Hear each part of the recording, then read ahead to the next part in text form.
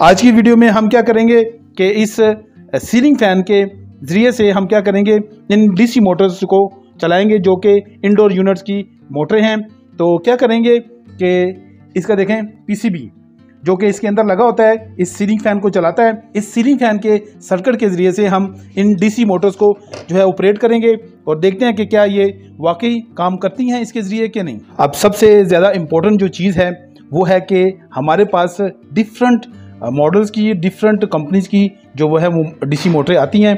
तो इनके ऊपर देखिए कनेक्टर लगे होते हैं और कनेक्टर जो हैं, वो तमाम के तमाम कंपनीज़ अपने अपने हिसाब से और अपने अपने फ़ायदे के मुताबिक जो है वो काम करती हैं। किसी का जो है वो वोल्टेज कहीं होता है, किसी का पोजीशन कहीं होती है। इसलिए आज हम जो ये सिस्टम क्रिएट करेंगे या बनाएँगे तो वो यूनिवर्सल टाइप बनाएँगे, जिसके ज़रिए से आप तमाम की तमाम मोटर्स को, जो इंडोर मोटर्स हैं, इनको आसानी से टेस्ट कर पाएँगे। आज की इस वीडियो को आपने बिल्कुल भी स्किप नहीं करना।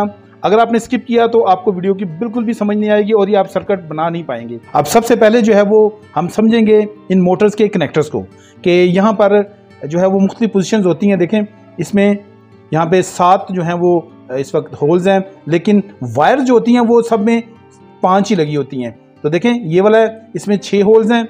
ये देख सकते हैं आप और इसके अलावा ये जो एक और है, इसका डिज़ाइन डिफरेंट है, लेकिन इसमें भी सात ही होल है। तो बाज़ मोटर्स में जो है वो पाँच होल भी आते हैं, यानी कि पूरे पूरे होल होते हैं, पाँच की जितनी तारे हैं, उतने ही होल्स इसमें मौजूद होते हैं। तो इस चीज़ से आपने घबराना नहीं है, सिर्फ़ आपने बात को समझना है। अब दूसरी बात जो आपने समझनी है, वो ये है कि आपने इन वायर्स के कलर कोड्स को देख लेना है। थोड़ा सा डिफरेंट हो सकता है मुख्तलिफ़ कंपनीज़ के मुताबिक, लेकिन ज़्यादातर नॉर्मली जो है वो सेम ही होता है, तकरीबन। लेकिन मैं फिर भी आपको समझा देता हूँ। तो देखें, इसमें जो रेड वायर है ये वाली तो यहाँ पे हम लिख लेंगे रेड कलर रेड वायर है, यहाँ पे हमें 320 वोल्ट 310 वोल्ट 20 वोल्ट जो है वो डीसी हमें देने होते हैं। देखें, ये जो हमारी ब्लैक वायर है, ये एक जो होल है इसको छोड़ के तो फिर ये इसको इंस्टॉल किया गया तो ये हमारी ग्राउंड वायर होती है। तो ये इस पॉइंट पे है तो यहाँ पे ब्लैक है।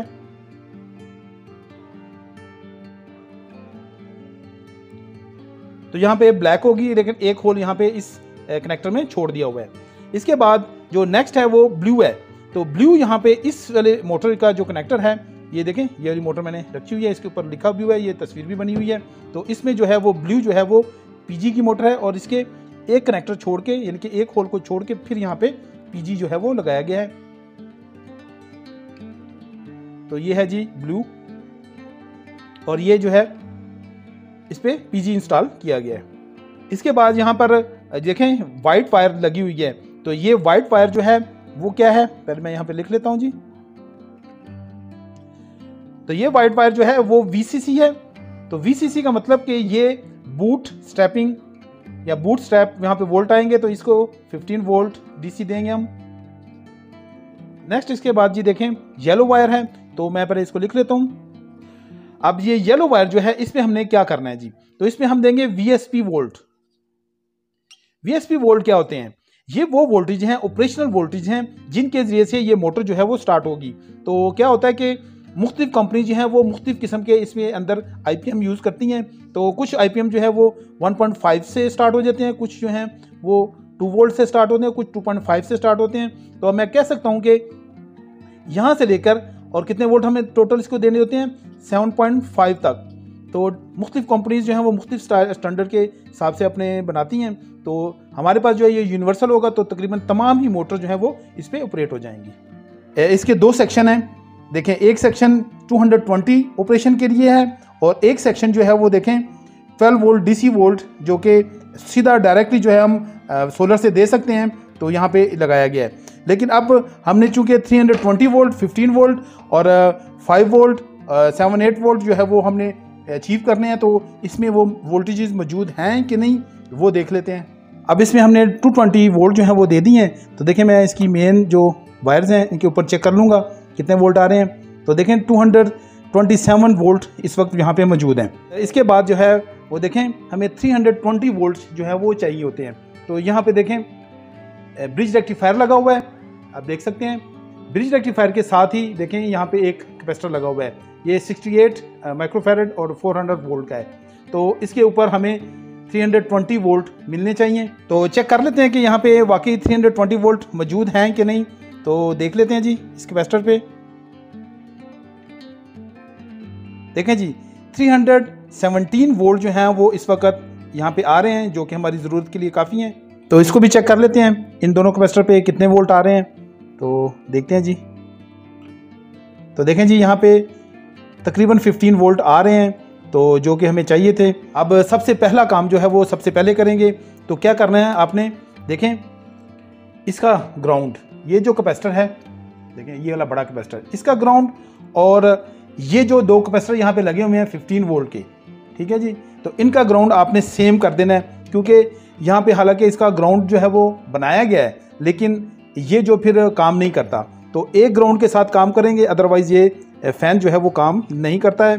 तो इसको पहले हम देखें, यहाँ पे मैंने दो तारें जोड़ी हैं। अब दो तारों का क्या मकसद है? एक मैंने जो है वो फ़ैन के लिए निकाल लिया है और एक जो है वो मैं लूप बनाऊँगा। तो दोनों को यहाँ पे लगा देते हैं। सॉरी ये तो उसका वो है, ये।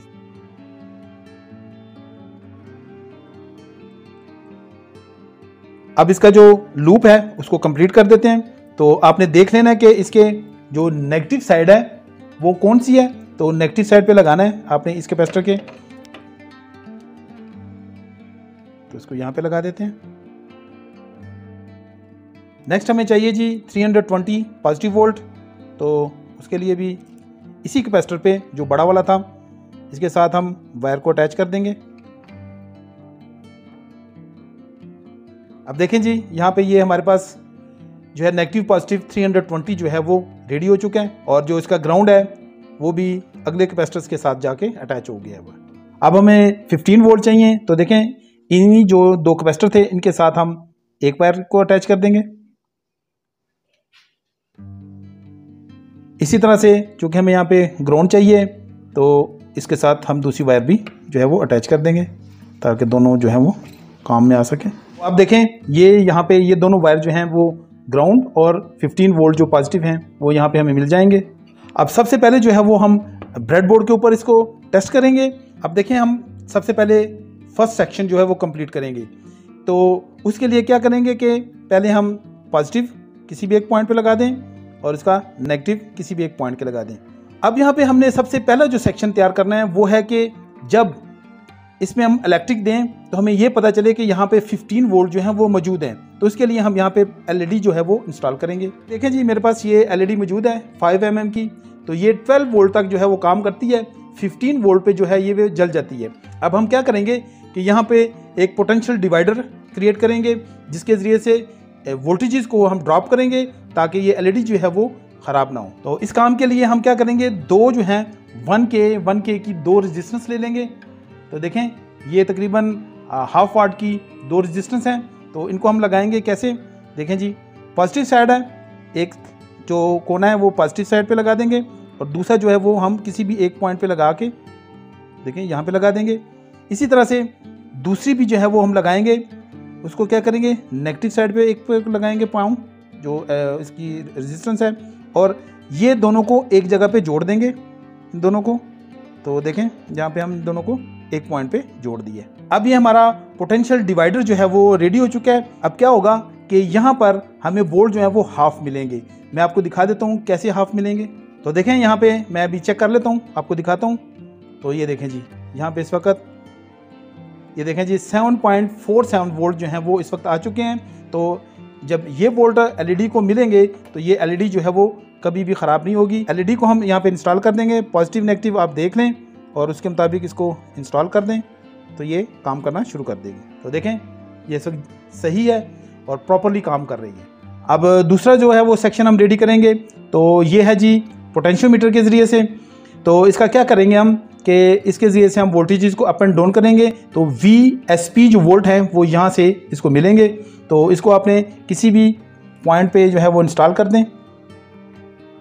इसके बाद फिर से हम पोटेंशियल डिवाइडर जो है वो यूज़ करेंगे उसके ज़रिए से, इसको कंट्रोल करेंगे। तो इस काम के लिए आपने दो जो है वो रेजिस्टेंस ले लेनी है। तो आप छोटी भी दे सकते हैं, लेकिन मेरे पास एक वाट की इस वक्त मौजूद है, इससे छोटी मौजूद नहीं है। तो इसलिए मैं ये वाली रेजिस्टेंस ले रहा हूँ। तो ये है जी 6.8 किलो ओम्स की रेजिस्टेंस हैं।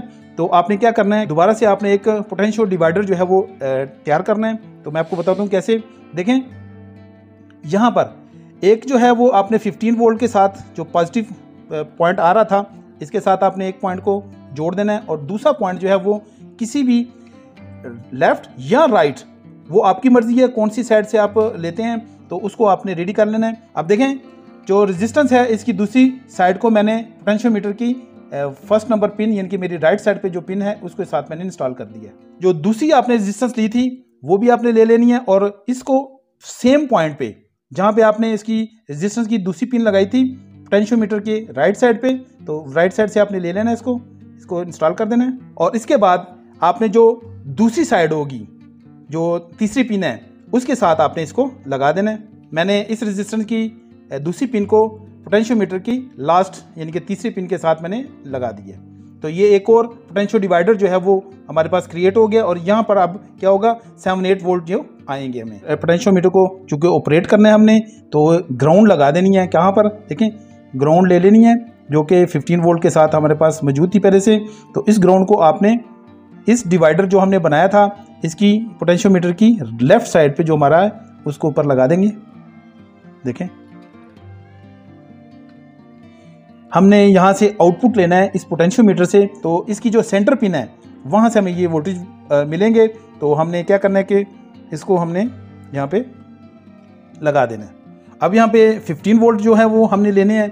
तो देखें, इसके लिए जो डायरेक्ट वायर आ रही है, उसी के साथ हम एक वायर को अटैच कर देंगे और ये हमारा 15 वोल्ट का जो कनेक्टर है, वो रेडी है। अब यहाँ पे देखें जी, हमारे चार जो कनेक्शन हैं, वो रेडी हैं। जो V S P voltages fifteen volt ground और ग्राउंड सॉरी ग्राउंड वाइट है और ये जो है, ये पर्पल कलर जो है, ये 320 वोल्ट है। अब हम इसको लगा देंगे यहाँ पे। तो 320 वोल्ट जो है, वो कौन से हैं जी? पर्पल है। तो इसको रेड के साथ लगा देंगे। वाइट जो थी, वो हमारी यहाँ पे ब्लैक के साथ आएगी। ये ग्राउंड है। आपने इससे कंफ्यूज नहीं होना कि इस वक्त मैं कौन सी वायर यूज़ कर रहा हूँ। सिर्फ़ आप ये देखें कि मैं इसको कनेक्शन कैसे कर रहा हूँ। फिर इसके साथ देखें जी, जो ये ब्राउन वायर है, ये 15 वोल्ट है। तो 15 वोल्ट जो थे, वो हमारे जा रहे थे कहाँ पर? ये वाइट कलर में। तो इसके साथ अटैच कर देंगे। आप देखें जी, ये येलो कलर हो गया। अब येलो जो है, ये हमारा ऑपरेशन वोल्टेजेस हैं तो इसको हम येलो के साथ ही अटैच कर देंगे। अब यहाँ पे हम जो है वो मोटर को जो है वो चला सकते हैं विदाउट फीडबैक तो मैं आपको चला के दिखाता हूँ। लेकिन इसका एक अभी सेक्शन रहता है, वो आगे मैं चल के आपको दिखाता हूँ। लेकिन यहाँ पे हम मोटर को ऑपरेट करके देखेंगे कि क्या हमारी मोटर जो है वो स्टार्ट होती है कि नहीं। अब इसको इलेक्ट्रिक दे देते हैं। ऑन करें। तो ये ऑन हो गई है। लेकिन देखें। हम इसको बिल्कुल बंद भी कर सकते हैं। और इसके बाद देखें स्लोली स्लोली देखें। बिल्कुल स्लो और स्लोली स्लोली हम इसको तेज़ भी कर सकते हैं, देखें। ये देखें जी, ये देखें। अब देखें। जो जो हम इसको घुमाते जाएँगे तो ये इसकी स्पीड ये देखें जी। ये देखें, कितनी ज़बरदस्त स्पीड हो गई है इसकी।